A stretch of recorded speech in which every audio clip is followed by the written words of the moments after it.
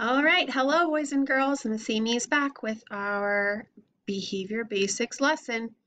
And today we are starting a new unit and it's on school rules. And I know that it seems silly we might focus on school rules even though we're not actually at school, but I think it's very important that we continue working on the school skills that we need because next year hopefully we'll be back in school and these are all things that we need to try and remember. So today we're going to talk about our cafeteria manners. And I think that these skills are definitely something that we can be practicing at home. So when you're in the kitchen and you're eating your lunch and your dinner and your breakfasts with your family, these are definitely skills you can be practicing while you're at home, okay? So let's get ready. Before we get into our story, remember, we have some rules. So let's go over our rules, okay? Oh, where'd our rules go? There they are. Okay. Rule number one, mouth is quiet. Rule number two, our eyes are looking. Rule number three, my hands and feet are to myself and our bodies are still right? Rule number four, our ears are listening. Ears are listening. Rule number five, if I need help or I have a question, what are we going to do? Raise our hand. Yeah. Miss Amy will be there to help you. Mom and Dad will be there to help you. Whoever's there. Miss Karen or Miss Kelly will help you. Miss Rosie or Miss um, Carol will help you. Yeah, there's lots of help, isn't there? Okay, so we're going to read our story and then we're going to have our discussions, okay? Story, area manners. I walk with my class to the cafeteria at lunchtime. Or you walk with mom and dad to the kitchen. Or your brother or sister to the kitchen. When I get to the cafeteria, I will wait in line with my friends. So when we're at school, we walk to the cafeteria and then we wait in line, right? Right. When we're at home, we get it we go to the kitchen and then we're patient while mom and dad help us get ready for lunch and cook the food or um, get it ready and get it made and we just have to wait patiently right so you wait. Maybe not in line, but you wait. Lunch I want to eat. So there's usually a couple choices when we're at school for lunch, and you get to choose which one you want, right? You get to pick it. I want mac and cheese. Ooh, that sounds good for lunch today, doesn't it? Maybe mom and dad will give you an option or two at home if you want something. Maybe they'll say, do you want do you want noodles or do you want vegetables? Hmm. Miss Amy would always choose the vegetables. I love vegetables. Or they might say, do you want meatloaf? Or do you want a sandwich? Hmm. Well, then Miss Amy would say, I want a meatloaf sandwich. okay, I'm sorry. So when you get to the kitchen or you get to the cafeteria, you're going to choose what you want for lunch. You put in your lunch number so that we can pay for it at the cafeteria. If you need help, if I need help, I can ask the cafeteria worker. Mm -hmm. Or our paras help us a lot too in the cafeteria, don't they? Miss Karen and Miss Kelly and Miss Rosie and Miss Carol, we they help so much. And Miss Ellie, they're so helpful. I sit the, at the lunch table with my friends. So when we're at school, we sit at the lunch table together with our friends and we eat our food, right? Eat our food. Do we steal food off each other's plates? No. If I need help during lunch, I raise my hand and ask for help. Help. During lunch, I eat using my fork and spoon. I do not use my hands. They're dirty. Your hands are dirty. We use our forks and our spoons. After lunch, I wipe my face with my napkin. So you clean up your face with your napkin. When I'm done eating, I will throw out my food in the trash or your wrappers or any trash that you have. We clean up after ourselves, right? So you take your, if you're at home, you take your dishes to the sink and you throw away your napkin and any food you didn't eat. You put those in the trash can, okay? And you put your dishes in the sink. I will sit and wait until I am dismissed for recess.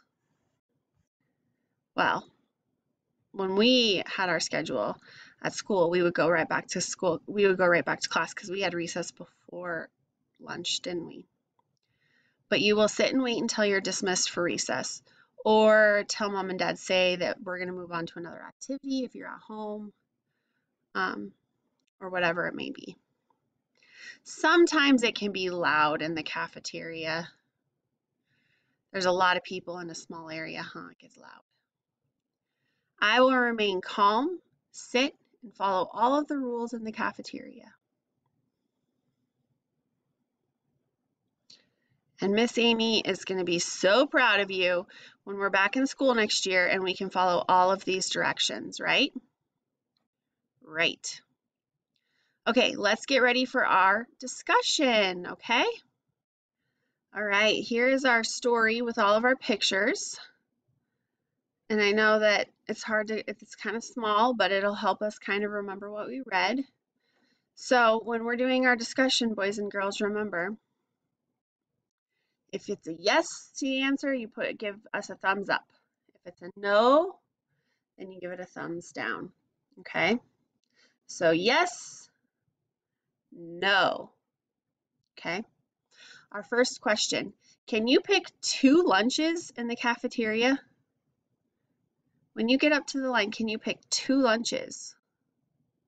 Or when you're in your kitchen at home, can you pick two things to eat? Nope, we can pick up one lunch, right? And we get either our macaroni and cheese or our vegetables. We get one choice, okay? Do you eat lunch in the cafeteria? When we're at school, do we eat lunch in the cafeteria? Yeah, we do.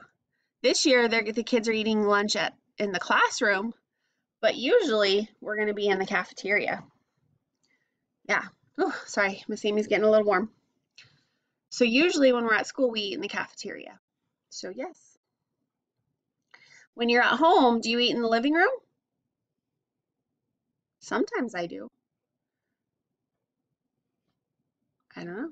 Where do you eat when you're at home? Do you have a dining room that you eat at the table? That's where I like to eat too. Yeah. Okay. Do you use silverware to eat? Yeah, we use silverware to eat. We don't eat with our hands. They're dirty. We use our silverware, our fork and our spoon and our and our knives. We use the silverwares to eat, right? Remember, here's the silverware right here. Fork, spoon and knife. Those are what we use to eat with our food. Mm -hmm. Do you walk to the cafeteria in a line?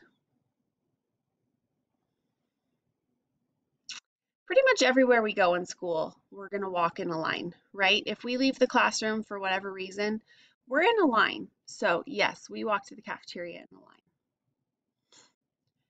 Okay, question number five. Can you take your friend's lunch when they're not looking? So if someone turns and they're looking over here, can you take your friend's lunch? No, just because they're not looking doesn't mean it's not theirs. That's their food. Don't steal their food, right? No, we don't do that. Now, if your dog, if you're at home and your dog takes your lunch, that's a different story. But that dog should still not have taken your lunch because it's your food, right? We don't take other people's foods. Mm -mm. We just eat our own. Okay. Question number six, can you throw your food at the cafeteria worker? Can you throw your food at one of our lunch ladies or our paras? No, we don't throw food at all. We eat it. We pick it up with our fork and our, or our spoon and we eat it. okay? We don't throw it at anybody. That's just disrespectful. Yeah.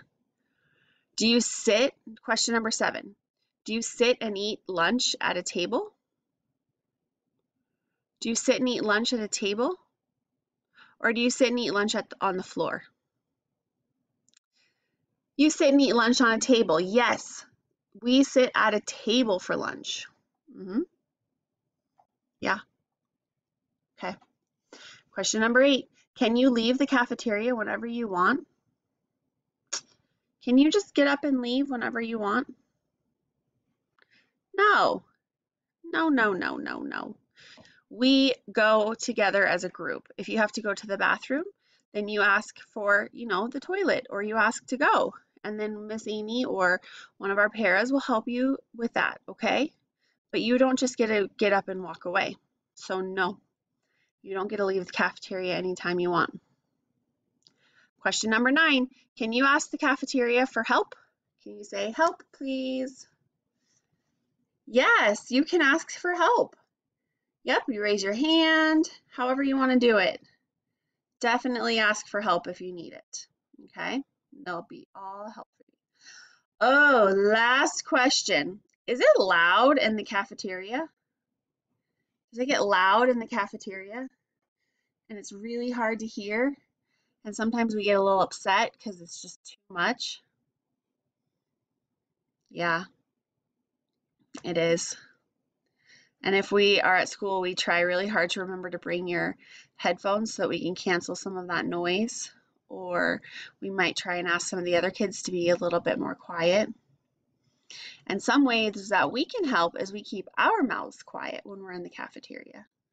So we're not adding to the crazy loudness, right? Right. Okay, boys and girls, well, that is cafeteria manners.